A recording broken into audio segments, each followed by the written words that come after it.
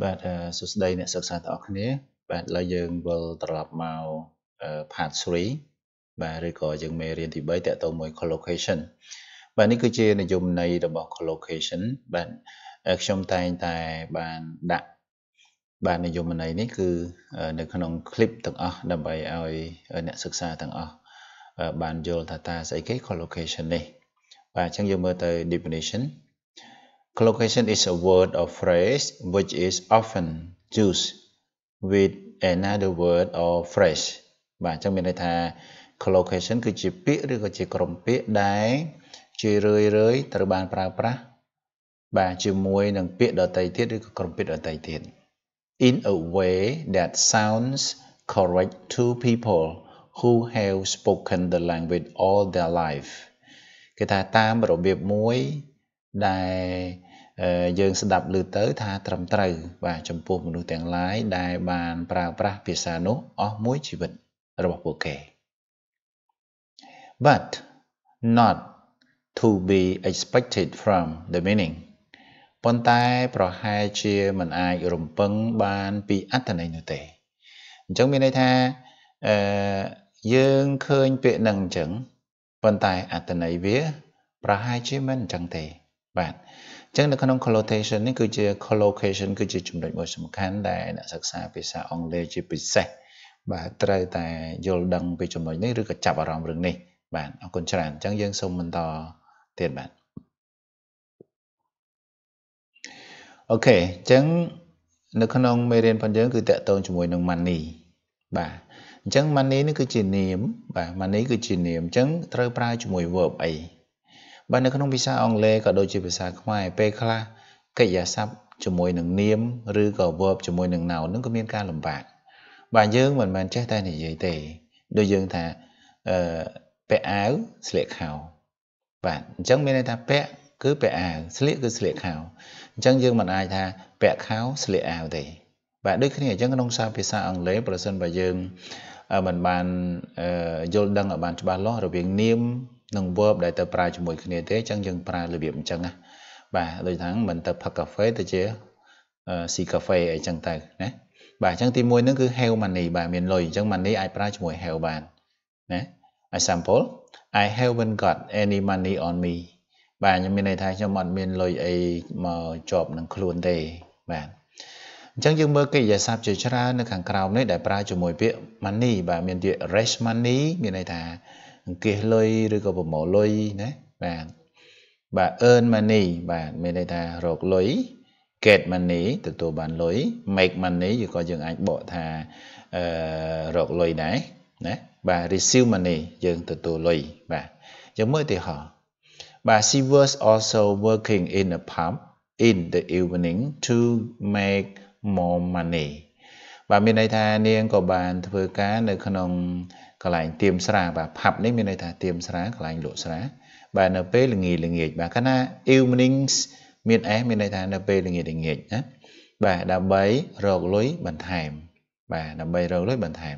បាទអញ្ចឹងសរុបឡើងវិញនៅក្នុង slide ទី1យើងកិច្ចអាស័ព្ទគឺអាចប្រើជាមួយ money ដូចជាពាក្យ to have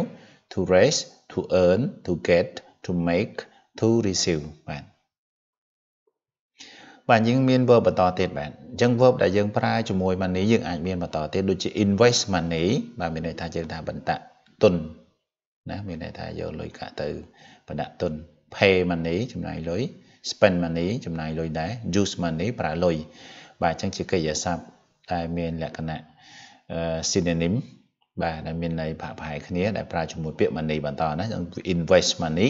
pay money spend money use money លោក example we spent a lot of money doing up our house បាទពួកយើងបានចំណាយលុយខាងយ៉ាងច្រើនដើម្បីអឺជួសជុលបាទផ្ទះរបស់យើង បាទមានថា doing up our house មានថាយើងតុបតែងជួសជុលថែមនេះថែមនោះអញ្ចឹងណាបាទអញ្ចឹងយើងប្រើពាក្យ spend ចំណាយពេលចំណាយណាចំណាយលុយបាទ បាទយើងមានកិរិយាសព្ទមួយទៀត accept money ឬក៏ take money បាទទទួលយកលុយឬក៏យកលុយបាទ take money sample she accepted money from his parent បាទគាត់ព្រមទទួលយកបាទលុយពីឪពុកម្ដាយរបស់ពួកគាត់បាទរបស់គាត់បាទយើងមើលបន្ថែមទៀតបាទយើងកិច្ចស័ព្ទដែលប្រើជាមួយ money នឹងបន្តបាទអញ្ចឹងយើងមានកិច្ចស័ព្ទច្រើនណាស់ណាបាទឥឡូវយើងដល់ slide ទី4ហើយ គឺថា donate money ឬក៏ to give money បាទអញ្ចឹងពាក្យហ្នឹងតែមួយទេគឺថាផ្ដល់ថវិកាឬក៏ឲ្យលុយប៉ុន្តែគ្រាន់តែពាក្យ donate នេះយើងប្រើសម្រាប់ឲ្យថាអង្គការមនុស្សធម៌យើងឲ្យបាទផ្ដល់លុយកាក់ហ្នឹងឲ្យទៅអង្គការមនុស្សធម៌អីចឹងទៅយើងមិនអាចប្រែថាពុកម៉ែយើងផ្ដល់អឺលុយកាក់ឲ្យយើងយើងមិនប្រើ donate ទេណាយើងអាចប្រើពេល to give money ណាបាទអូខេ he donated money to the labor party បាទ labor party នេះគឺជាគណៈបកនៅសហរដ្ឋអាមេរិកបាទមានន័យថាគាត់បានបរិច្ចាគលុយបាទទៅឲ្យគណៈបក labor នេះបាទមួយទៀតកិច្ចសព្ទដែលយើងអាចប្រើបាន គឺទៅ save money បាទសន្សំលុយណាបាទសន្សំលុយ example we saving money in uh, we have we we saving money this year by not going away on holiday បាទមានន័យថានៅឆ្នាំនេះ ពួកយើងសន្សំលុយ បាទដោយមិនធ្វើដំណើរទៅដើរលេងឆ្ងាយនោះទេបាទអញ្ចឹងគាត់ថាយើងធ្វើដើរដំណើរដើរលេងឆ្ងាយមានន័យថាយើងត្រូវចំណាយលុយអញ្ចឹងយើងត្រូវសន្សំលុយ save money បាទយើងមើល slide បន្តទៀត verb ដែលប្រើជាមួយ money បាទយើងមានច្រើនណាស់អញ្ចឹងបាទយើងត្រូវចាំថាតើកិរិយាសព្ទណាណាណាខ្លះដែលអាចប្រើជាមួយ noun មួយហ្នឹងបាទអញ្ចឹងគឺជាចំណុចមួយដែលពិសេសមែនតើប៉ុន្តែប្រធានបទផងយើងឬក៏មេរៀនផងយើងឬក៏ part series ផងយើងយើងនិយាយអំពីពាក្យ money អញ្ចឹង money លុយបាទពាក្យប៉ុណ្ណឹងម៉ាត់ដូចជាស្រួលបាទប៉ុន្តែបើសិនជាយើងរៀនណាយើងសិក្សាអស់បាទថាតើពាក្យនេះប្រើប្រាស់យ៉ាងណា គឺជាចំណុចមួយដ៏ល្អសម្រាប់មិត្តអ្នកសិក្សា បាទរៀនភាសាបរទេសបាទជាចំណុចមួយសំខាន់បាទអញ្ចឹងយើងមានពាក្យ borrow money បាទមានន័យថាសុំខ្ចីលុយ lend money មានន័យថាឲ្យខ្ចីលុយ owe money មានន័យថាចំពាក់លុយ repay money មានន័យថាសងលុយវិញ example how much money do i owe you បាទតើខ្ញុំចំពាក់លុយអ្នកឯងប្រមាណណាចឹងមានឧទាហរណ៍មួយមួយណាប៉ុន្តែយើងមានកិរិយាសព្ទជាច្រើនណាដែលប្រើជាមួយនេះគឺជា borrow money ខ្ចីលុយបាទឲ្យលុយខ្ចីណា lend money sorry borrow money មានថាសុំខ្ចីលុយបាទ lend money មានន័យថាឲ្យខ្ចីលុយ owe money មានន័យថាជំពាក់លុយ repay money មានន័យថាសងលុយវិញបាទយើងមានពាក្យ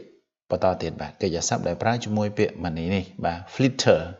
យើងប្រើ away ក៏បានមិនបាច់ក៏បានយើងប្រើពាក្យ flitter យើងប្រើពាក្យ lose យើងប្រើពាក្យ squander បាទ squander ឬក៏ waste money បាទពាក្យទាំងអស់នេះអាចប្រើជំនួសគ្នាបានណាអាចប្រើថាមានន័យថាខ្ជះខ្ជាយពេលគឺថាខ្ជះខ្ជាយលុយកាក់បាទខ្ជះខ្ជាយណាបាទបើសិនបើយើងប្រើពាក្យ lose បកតែឯងក៏បានណាបាត់បង់លុយកាក់បាទបាត់បង់លុយកាក់ណាបាទ អញ្ចឹងប៉ុន្តែពាក្យ flitter ឬពាក្យ squander squander ឬក៏ waste money មានន័យថាខ្ជះខ្ជាយលុយកាក់ example in the end ទីបំផុត he failed he wasted a lot of money on lawyer fee បាទអញ្ចឹងមានន័យថាទីបំផុតហ្នឹងគាត់បានមានអារម្មណ៍គិតថាគាត់បានខ្ជះខ្ជាយណាលុយយ៉ាងច្រើនទៅលើថ្លៃមេធាវីបាទអញ្ចឹងមានន័យថា អត់បានជោគជ័យណាបាទអត់បានជោគជ័យបាទបាទយើងចូលទៅ slide មួយទៀតក៏ដូចជាកិច្ចស័ព្ទជាច្រើនទៀតដែលប្រើជាមួយពាក្យ money នេះបាទដូចជា cost money ឬក៏ need money បាទ cost money មានន័យថាត្រូវដែលត្រូវចំណាយលុយណាបាទ cost money need money យើងត្រូវការលុយកាក់អញ្ចឹងទៅបាទ sample a trip to the museum won't cost you any money គេថាការដំណើរកំសាន្តទៅកាន់សារមន្ទីរហ្នឹងគឺអត់មានត្រូវឲ្យអ្នកចំណាយលុយអីទេណាបាទ cost you any money បាទអញ្ចឹងចូលមើលដែលអត់គិតថ្លៃបាទ change money បាទដូរលុយអញ្ចឹងពាក្យនេះវាសាមញ្ញដែរណា sample where can i change money បាទតើខ្ញុំអាចទៅដូរលុយនៅណា បាទអញ្ចឹងពីដុល្លារទៅខ្មែរពីខ្មែរទៅដុល្លារឬក៏ពីដុល្លារទៅបាតបាតទៅលុយដុល្លារអីចឹងណាបាទអូខេបាទសូមមើលបន្តទៀតបាទ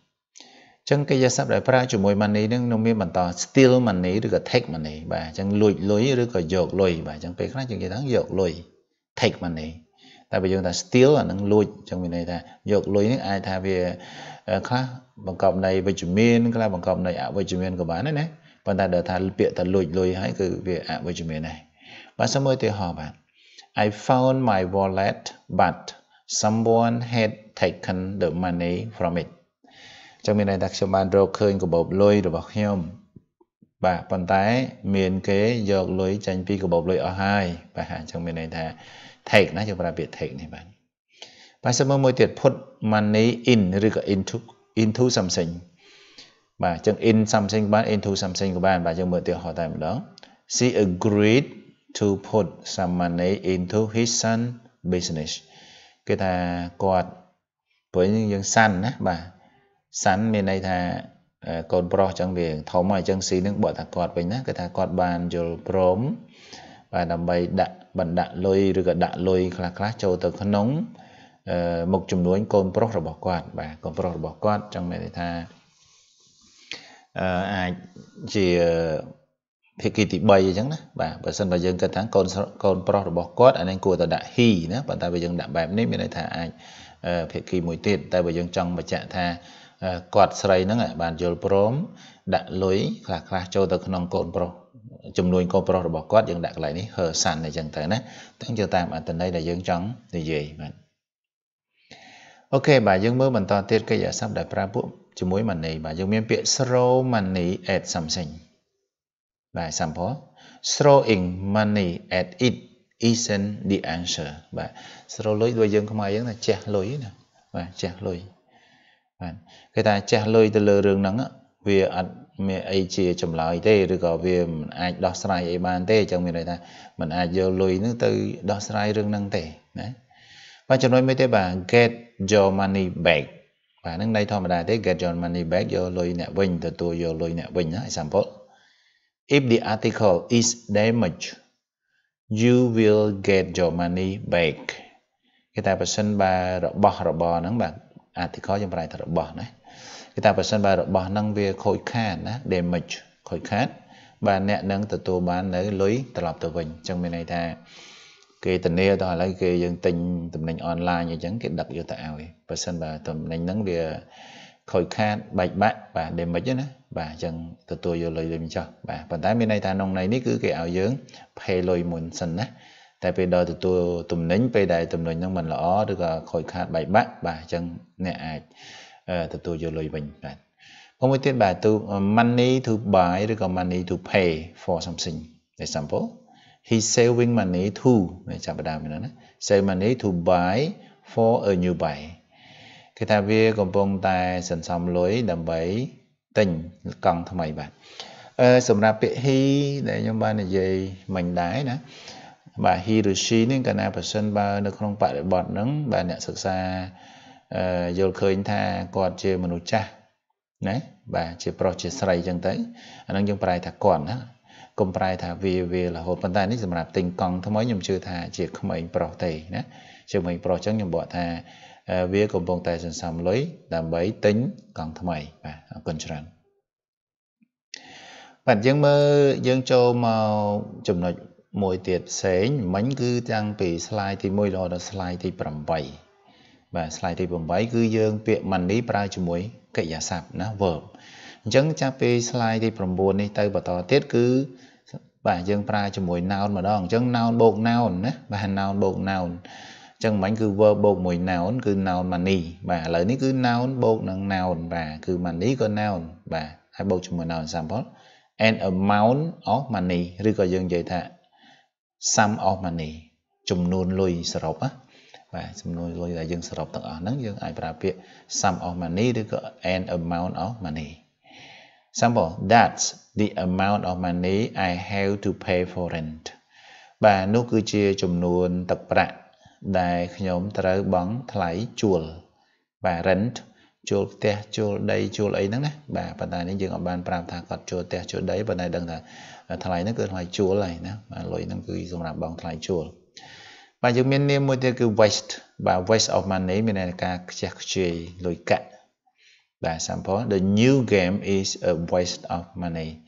គឺថា game ថ្មីឬក៏លបែងថ្មីហ្នឹងគឺតែគឺជាការខ្ជះខ្ជាយលុយកាក់មួយ បាទការលុយកាក់មានន័យថាយើងយកទៅលេងទៅអីចឹងណាអូខេ បាទយើងមើលបន្តទៀតបាទនាមដែលប្រើជាមួយ money បន្តឬក៏ money ដែលប្រើជាមួយនាមមួយចំនួនដូចថា the ma the money market ឬក៏ the money supply បាទអញ្ចឹងមានន័យថាទីផ្សារលុយកាក់បាទឬក៏ការផ្គត់ផ្គង់លុយកាក់បាទអញ្ចឹង market ទីផ្សារអញ្ចឹងណាបាទ supply ការផ្គត់ផ្គង់អញ្ចឹងការផ្គត់ផ្គង់លុយកាក់ឬក៏ទីទីផ្សារលុយកាក់ sample the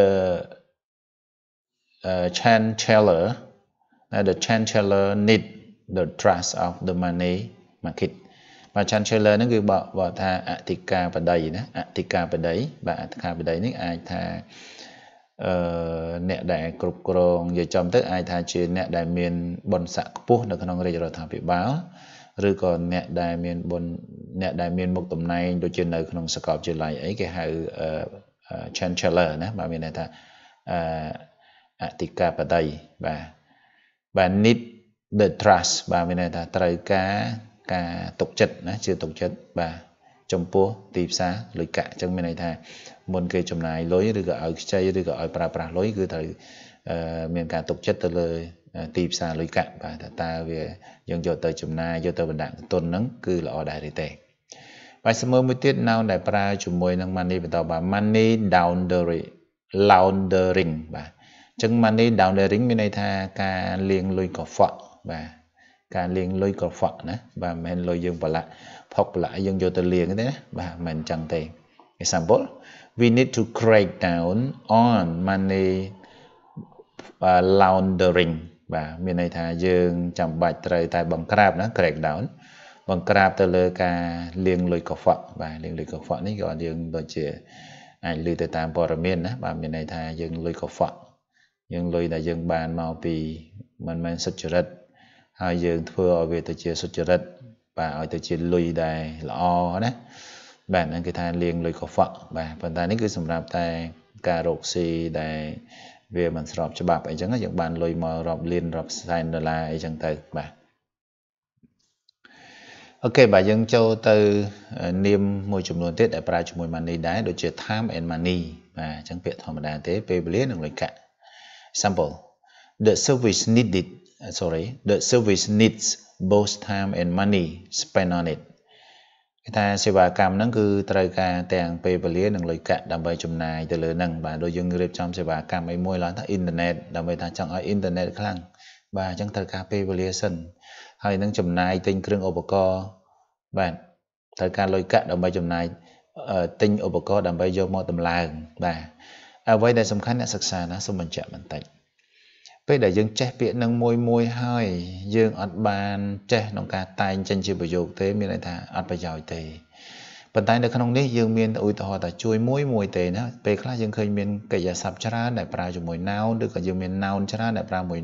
ពាក្យ money នេះប៉ុន្តែការឧទាហរណ៍ជូនជូនតែមួយទេបាទជូនតែមួយណាបាទដើម្បីបង្ហាញបញ្ជាក់ថា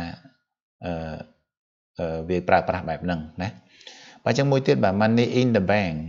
ដែល money in the bank example he works hard to put money in the bank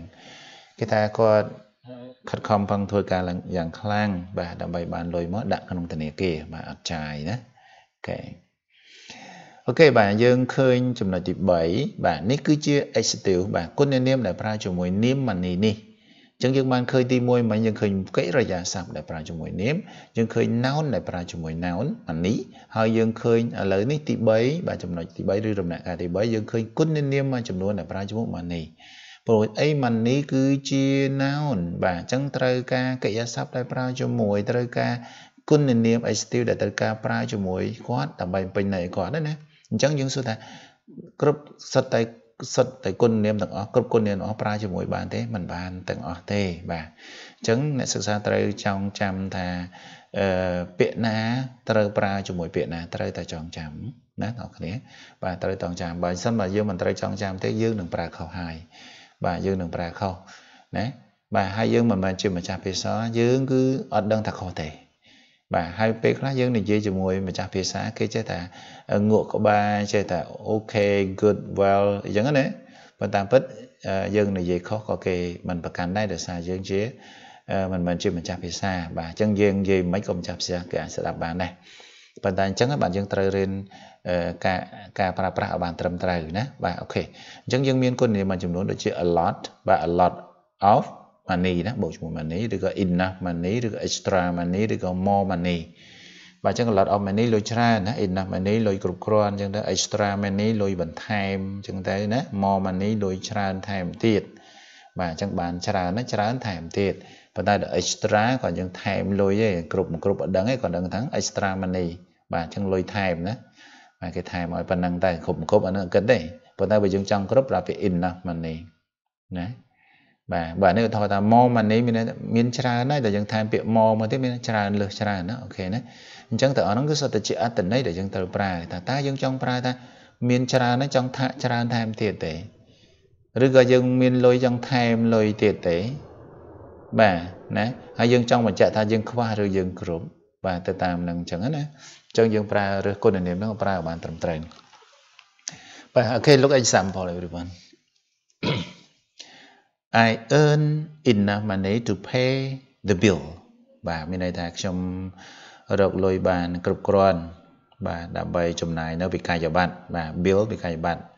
បាទវិក័យប័ត្រមានន័យខ្លះបាទភ្លើងទឹកអីទាំងជាដើមអញ្ចឹងណាបាទការហូបចុកស្លៀកពាក់អីចឹងទៅអញ្ចឹងយើងទិញគឺសិតតែចេញវិក័យប័ត្រមកអស់ណាទៅផ្សារទំនើបទៅ បាទទិញទៅគេចេញវិក័យប័ត្រមកអស់ហើយអញ្ចឹង បែបហ្នឹងប៉ុន្តែសំខាន់ដែលយើងត្រូវនិយាយគឺទឹកភ្លើងណាបាទភាគច្រើនយើងសំដៅទៅលើហ្នឹងអូខេ big money បាទអញ្ចឹង big money លុយច្រើនណាបាទមិនលុយធំទេ Example she making big money in the financial services sector គេថាគាត់បាទរកលុយបានយ៉ាងច្រើនណាកំពុងរកលុយបានយ៉ាងច្រើន បាទផ្នែកណាបាទ sector នេះផ្នែកណាផ្នែកសេវាកម្មហិរញ្ញវត្ថុបាទ ចឹងផ្នែកសេវាកម្មហិរញ្ញវត្ថុដូចយើងឃើញថាទៅចងការឲ្យគេខ្ចីប្រាក់ខ្ចីអីបាទហ្នឹងណាបាទ100ដុល្លារ10ដុល្លារមកវិញឬក៏20ដុល្លារមកវិញអញ្ចឹងទៅចុះបើគាត់មាន1000ដុល្លារបានបានចុះបើគាត់មាន10000ដុល្លារប្រហែលបាទអញ្ចឹងគាត់កំពុងតែរកលុយបានច្រើនអូខេបើយើងមើលគុណនាមមួយចំនួនទៀតដែលប្រើជាមួយ noun ដែរណាដូចជា money well spent បាទ money well spent មានន័យថាលុយដែលចំណាយបានល្អបានត្រឹមត្រូវណា example the shoe cost a lot but it was money well spent អឺគេថាសបៃជើងនឹងថ្លៃថ្លៃហ่า cost a lot បាទអញ្ចឹងបើជើងនឹងថ្លៃបាទថ្លៃហ่าប៉ុន្តែវាគឺជាលុយមួយដែលយើងចំណាយបានត្រឹមត្រូវបាទត្រឹមត្រូវមានន័យថា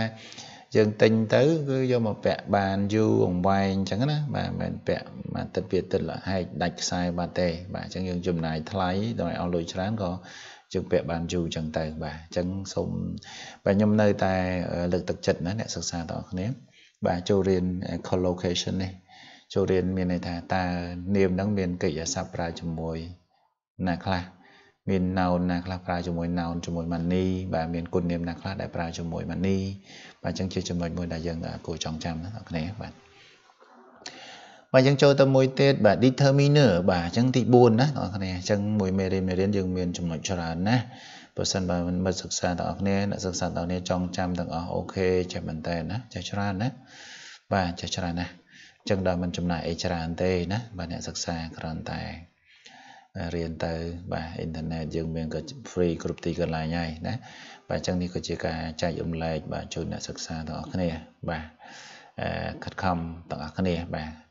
អរគុណអញ្ចឹងខ្ញុំក៏ចំណាយពេលក្នុងការរៀនសូត្រនេះរាប់សិបឆ្នាំដែរណាបាទអញ្ចឹងបើសិនបើអូននៅពាក្យខ្មែរយើងថា10ឆ្នាំអញ្ចឹងចាប់ពី30ហើយណាបាទពុំ20គេហៅ10ទេបាទអញ្ចឹងចាប់ពី30ឆ្នាំទៅវា10ហើយ បាទអញ្ចឹងការរៀនអង់គ្លេសនេះគឺ10ឆ្នាំហើយសម្រាប់ខ្ញុំអញ្ចឹងក៏គេថាជាការចែករំលែកជូនអ្នកសិក្សាណាអញ្ចឹងអ្នកសិក្សាយកចិត្តទៅដាក់រៀនទៅបាទមិនជាការអស់ចំណាយអីទេបាទសម្រាប់ការពីជំនាន់ខ្ញុំគឺត្រូវតែជិះម៉ូតូជិះអីមករៀនដើររកគ្រូរៀនបាទក្រុមអំប៉ះគ្រូល្អល្អមិនងាយទេបាទអរគុណច្រើនណាចឹង determiner នេះបាទដូចជានេះពាក្យ any ពាក្យ much ពាក្យ no ពាក្យ some ហ្នឹងបាទនឹងហៅថា determiner ណា បាទតើពាក្យហ្នឹងប្រើក៏អាចប្រើជាមួយ money បានដែរអញ្ចឹង any money អាហ្នឹងគឺច្រើនតែប្រើនៅក្នុងបដិសេធទេណា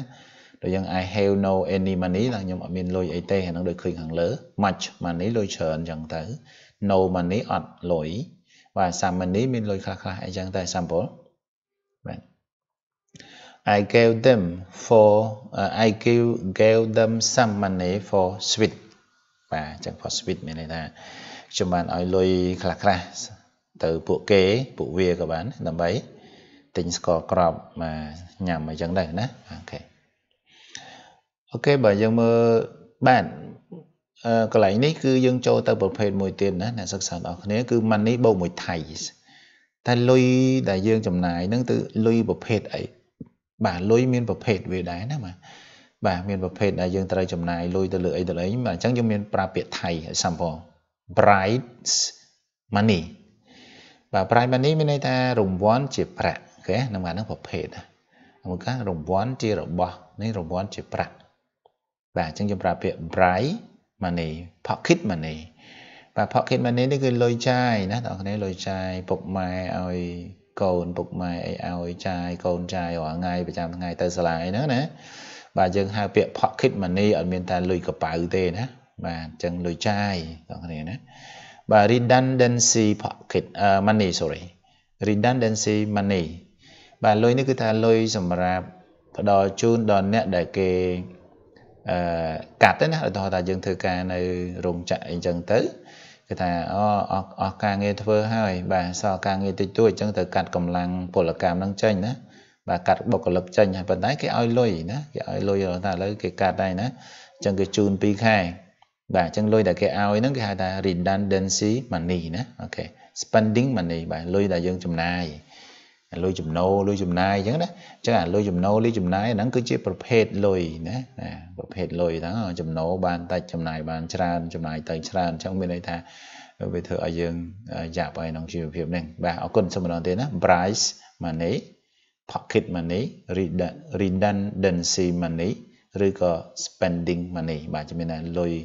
រង្វាន់ជាលុយលុយចាយលុយដែលផ្ដល់ជូនដល់ដែលពេលយើងកាត់កាត់កម្លាំងពលកម្មណាបាទមួយទៀតនេះលុយចំណាយបាទមានន័យថាមានចំណូលគឺសម្រាប់ថាស្គួរចំណាយផ្សេងផ្សេងអញ្ចឹងណាចឹង spending money ចាលុយ simple the children are demanding an increase in pocket money បាទហ្នឹងហើយគេថាក្មេងៗឬកូនកូនក៏បានដែរណាគេថាកូនកូនកំពុងតែទៀមទាឲ្យដំឡើង នៅប្រាក់ចាយបាទមានតែលុយចាយណាឲ្យម៉ាក់ធ្លាប់ឲ្យថា3000លើសុំ5000មកបាទរបស់របរឡើងថ្លៃ3000ទិញឲ្យបានទេឬក៏កាលមុនឲ្យ1000លើទិញឡើងបានឲ្យ500ទិញឡើងបានអញ្ចឹងឡើង1000ឡើង2000ឡើង5000អញ្ចឹងទៅ okay អញ្ចឹង increase ចា okay public money បាទ public money គឺជាលុយដែលយើងត្រូវចំណាយទៅលើសាធារណៈបាទសាធារណៈមានន័យថាការសាងសង់ការថែរក្សា របស់របរជាសាធារណៈហ្នឹងគឺលុយគឺសម្រាប់ចំណាយទៅលើហ្នឹងណា okay ឥឡូវសមួយឧទាហរណ៍ why should public money be pumped into companies gear to profit បាទអញ្ចឹងសួរថាហេតុអីបានជាលុយដែលយើងត្រូវចំណាយទៅលើសាធារណៈហ្នឹងត្រូវធ្វើវិនិយោគបាទត្រូវដាក់ធ្វើវិនិយោគជាមួយក្រុមហ៊ុន ដើម្បីយកឬដើម្បីទាយកណាដើម្បីទាញយកនៅប្រាក់ចំណេញបាទអញ្ចឹងមានន័យថាលុយយើងយកសម្រាប់សកលសម្រាប់កសាងអ្វីផ្សេងផ្សេងជាសាធារណៈផ្លូវថ្នល់ឬក៏សួនច្បារអញ្ចឹងណាបាទចំណាយទៅលើអញ្ចឹងប៉ុន្តែយើងអត់យកយើងយកលុយហ្នឹងបែរទៅជាទៅធ្វើវិនិយោគទៅជាមួយក្រុមហ៊ុន បាទដើម្បីបដូរយកអឺ profit បាទផលចំណេញទៅវិញបែរជាអត់បានយកលុយហ្នឹងទៅសាងសង់ដើម្បីអឺសាធារណជនប្រើប្រាស់អីចឹងណា បាទគេសួរថាហេតុអីបានទៅអញ្ចឹងណាពលលុយហ្នឹងសគួរសម្រាប់កសាងអស់ហ្នឹងបែរជាយកលុយហ្នឹងទៅដាក់ធនាគារទៅបានការប្រាក់ស៊ីខ្លួនឯងអូខេបាទយើងមើលទៅនេះគឺជា slide ចុងក្រោយណាបងប្អូនបាទគឺយើងប្រើ preposition អញ្ចឹងមានន័យថាមាន preposition អីខ្លះដែលយើងប្រើជាមួយពាក្យ money នេះបាទអញ្ចឹងយើងឃើញនៅក្នុងនេះគឺមានពាក្យ for for the money sample he said that he was in boxing for the money គាត់បាននិយាយថាគាត់កំពុងតែបដាល់បាទស្ថិតនៅក្នុងការបដាល់ហ្នឹងដើម្បីបានលុយដើម្បីចង់បានលុយចឹងមានន័យថាគាត់ចូលរួមប្រកួតបដាល់នេះគឺចង់បានលុយបាទអញ្ចឹងមានន័យថាអត់ចង់បានអីទេគឺឈ្នះចាញ់គេឲ្យលុយអីចឹងទៅក៏ទៅស្ម័គ្រចិត្តឬក៏ខំប្រឹងចូលរួមណាបាទចង់ចង់អូខេ money for something បាទលុយសម្រាប់អ្វីមួយទៅ the fact is to raise money for the local hospital ចឹងមានន័យថា Fed នេះគឺកម្មវិធីណាបងប្អូនកម្មវិធីជប់លៀងកម្មវិធីបុណ្យអីយើងធ្វើប៉ុន្តែមិនមែនជាបុណ្យខ្មោចឬក៏បុណ្យអីទេកាលណាបុណ្យបច្ច័យ4ឬក៏បុណ្យសាមគ្គីការសាមគ្គីខ្មែរយើងមានបុណ្យចឹងចឹងណាដើម្បីរៃអង្គាសលុយកាក់អីចឹងសម្រាប់ធ្វើនេះធ្វើនោះសាងសង់នេះសាងសង់នោះយើងប្រើពាក្យ Fed បងប្អូនណាទាំងកម្មវិធីហ្នឹងកម្មវិធីបុណ្យអញ្ចឹងណាបងប្អូនណាបាទ the Fed គេថាកម្មវិធីបុណ្យឬក៏បុណ្យហ្នឹងគឺ ត្រូវអង្គាសលុយណាមានន័យថាធ្វើឡើងដើម្បីត្រូវអង្គាសលុយសម្រាប់ឲ្យមន្ទីរពេទ្យនៅក្នុងស្រុកហ្នឹងបាទកាលណាប្រើពាក្យ local មានន័យថាបើឥឡូវយើងនៅទីណាគឺប្រែកន្លែងហ្នឹងថានៅចោមចៅថាអូសម្រាប់ទីពេទ្យនៅក្នុងចោមចៅអូឬក៏អឺទីពេទ្យនៅនៅឈ្មោះអីមួយ បាទយើងមានន័យថាទីពេទ្យកន្លែងនោះទៅអញ្ចឹងប្រើពាក្យ local ណាបងប្អូនបាទបាទអញ្ចឹងអរគុណច្រើនដល់អ្នកណាដែលបានតាមដាននេះគឺជាភាគទី3 បាទរបស់យើងអញ្ចឹងសូមរងចាំពាក្យទី4បាទទី5បន្តណាបាទដែលខ្ញុំនឹងរៀបចំបន្តបន្តអរគុណច្រើនដល់អ្នកបាយបាយ see you